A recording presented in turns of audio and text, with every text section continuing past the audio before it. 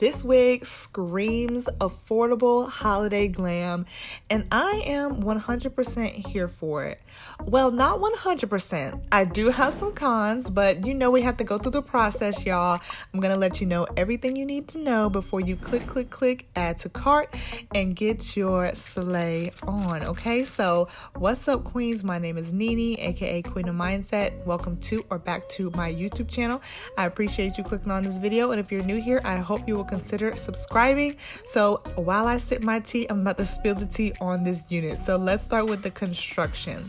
So the wig that I'm bringing you guys today, I did pick up with my own coins, and this is by Outre. This is their lace front wig Azalia, and I picked up Azalia in the number two.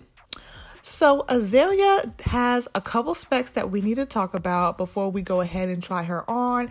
I am going to apply her with you guys and I am going to give you my final review in a few minutes at the end of this video and tell you about those cons I mentioned earlier. I want to make sure you know them and note them before you buy this wig. So the details highlight HD transparent lace in a crimp wave style. Now I don't really see a crimp, but I do see the waves. I'm feeling the waves on this unit. They come off really pretty, especially straight out of the package. It does say that it comes with natural baby hair and that it is pre-plucked with a 5 inch deep lace parting. So this wig is also a high heat safe up to 400 degrees. I do put this wig to the test with heat, so make sure you keep on watching and I'll let you guys know whether she sizzles or she's good to go with applying heat to this synthetic wig. So this wig is on the longer side. The stock card says that it is approximately about 28 inches. On me, I don't feel like it's that long and I am going to show you guys what it looks like straight out of the package with a 360 view and you can judge for yourselves, but I don't feel like this is as long, especially compared to one of the more recent units that I tried. Um, that was super long, like down to the hips. This one I feel like is more manageable.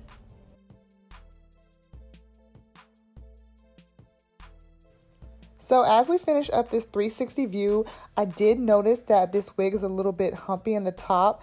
So you probably will want to use some heat. I'm going to do it later in the video like I said. So let's go ahead and slide right into the application process. I'm going to be using many different products in this video and I have linked them all in the description for you. So you can pick them up on Amazon if you're interested. So I'm going to start with this lace tint spray and I actually forgot to use this in the last video, but I'm glad that I did because now I can compare. And I'm happy to report that using this spray definitely made the application process a lot easier.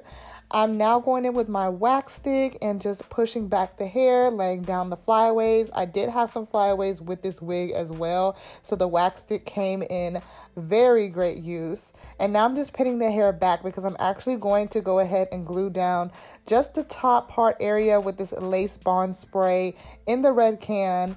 Now I used the freeze spray by Got 2b in the last video and I actually like this better. I feel like using this red can of lace bond spray made the application a lot easier and I didn't have to go straight in with my heat to secure the lace.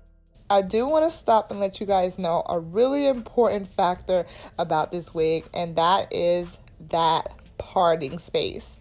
So the parting space is on the left side. I repeat, the parting space is on the left side. I know that can be a deal breaker for some people. Some people like I prefer a right side part, a left side part. I did not try to flip this part because it just was not going to work if I switched the sides. You may can get away with kind of doing like a side middle part, but I would just stick with the left part because that's how it's naturally made. I am going to do some plucking to that parting space and a little bit of manipulation later in the video to make it look a little bit more realistic. And as you can see, the hairline is pretty thick as well. I do not pluck the hairline on this one because I didn't want to do too much with this wig. I got it at an affordable price and I didn't want to push it, but that is something that I want to know as well.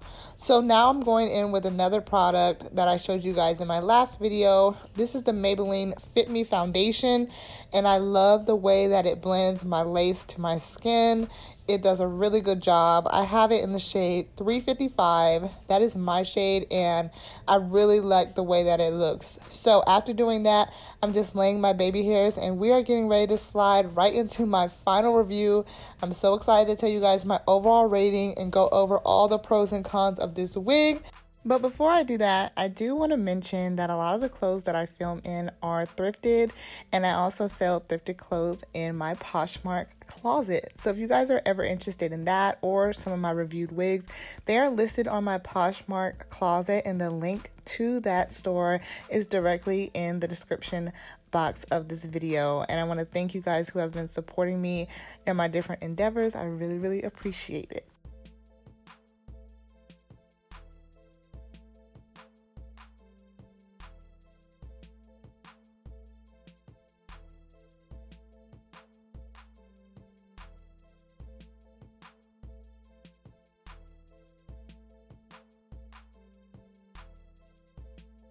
Right here, you're seeing me going in and taking some of those hairs that is right in the middle of where the part reaches my actual lace and my forehead area. And I'm just plucking those hairs just to open it up just a little bit.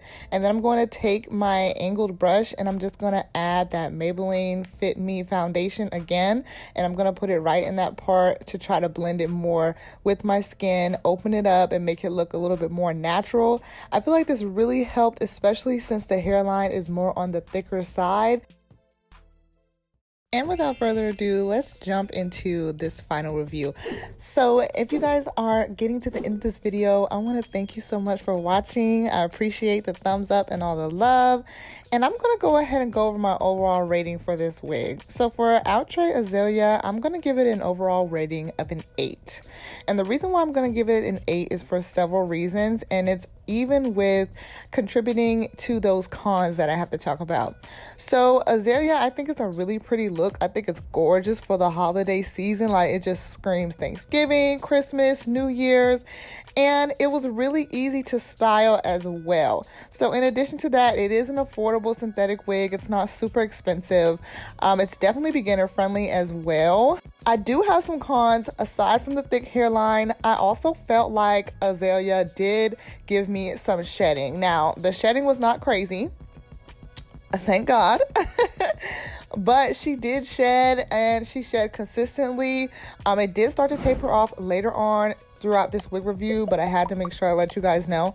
And I also felt like she gave me just a few tangles. So if I were going to like go out, out, you know, and really do some moving and grooving, I would definitely take my hairbrush or my wig brush along with me. But I don't think that she's to give you crazy problems. And the curls just look so gorgeous. Definitely a winner for this holiday season. So, Queens, thank you so much for watching this video. Let me know in the comments what you think about Azalia. I would love to hear what you have to say and to talk with you guys down there.